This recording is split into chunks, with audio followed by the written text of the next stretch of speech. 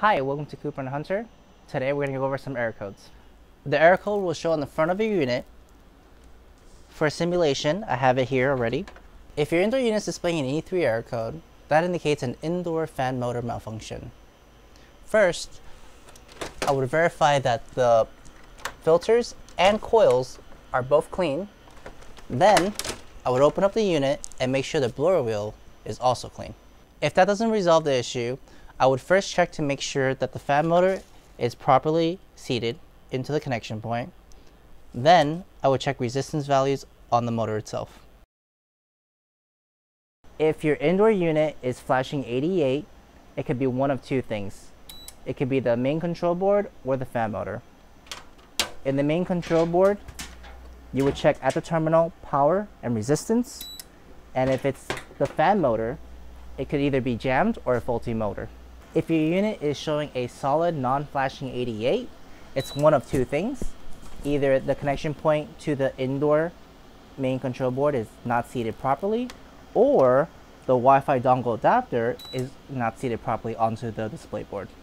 If your indoor unit is displaying an E1 error code, that indicates communication error. What I would check first is to make sure that at the terminal, your connections match your outdoor terminal. In this case, it's white, black, red. If your connections are correct and they match, then that would indicate there's a short on either your outdoor unit or your indoor head. Here we have a multi-zone system. We have three evaporators connected to one outdoor condenser. As you can see, there is a dash dash error code on two of these units. A dash dash error code indicates mode conflicts. It's important to know that because all three evaporators are connected to one condensing unit, they all have to be set to the same function, whether it be heating or cooling. It's also worthwhile to know, because of this, you cannot set your units to auto. Because if one room is colder and the other room is hotter, that's also going to cause the mode conflict. To resolve this issue, just set all the units to the same mode.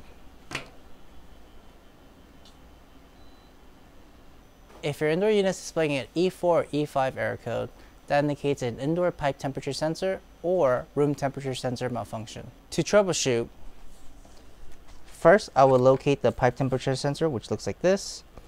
I would make sure it's properly connected. Then I will check resistance between the two pins. To troubleshoot the E5 error code, I would locate the room temperature sensor, which is usually in the tubing. Also make sure it's seated properly, like the other one, and check resistance on the sensor as well. If your indoor unit is displaying an EE error code, that indicates a water level float switch malfunction. First, I would make sure your drain hose is not clogged. Then I would make sure that the float switch is not jammed in an upright position. If none of these are the case, then I'll just check continuity. If there is continuity, that's good. If there's no continuity, that's bad. If your indoor unit is displaying an F0 error code, that indicates overvoltage. If your unit is displaying a P1 error code, that indicates overvoltage or undervoltage. To troubleshoot these issues, first thing I would do is check voltage coming into the unit. I would check each lane to ground and then each lane to each other if your power is correct, I would start checking the boards to see if there's any shorts on them. If your indoor unit is displaying a P0 or a P2 error code, that indicates an inverter module malfunction or high temperature of compressor top or IPM board. This could mean one of two things. Either you have a short on your IPM board or your pressures are too high or too low. First, we're going to check pressures on the unit to make sure they're not too high or too low. Then we're going to check the IPM board. Here I have unplugged the compressor from the main control board. We're going to check resistance values between the three pins, between 1 and 2, 1 and 3, and 2 and 3. Here I have two examples of IPM boards. This one is an IPM fused with the main control board and generally you'll see this setup on our smaller BTU units. Over here I have an IPM board by itself, and these come standalone on our larger BTU units. To check the unit, we're going to locate W, V, U, and P. And with your meter, you're going to check between P to W, P to V, P to U, and make sure all the values are the same. You're going to do the exact same thing if it's a standalone IPM board. You're going to locate W, V, U, and P, and check the points between P to U, P to V, P to W.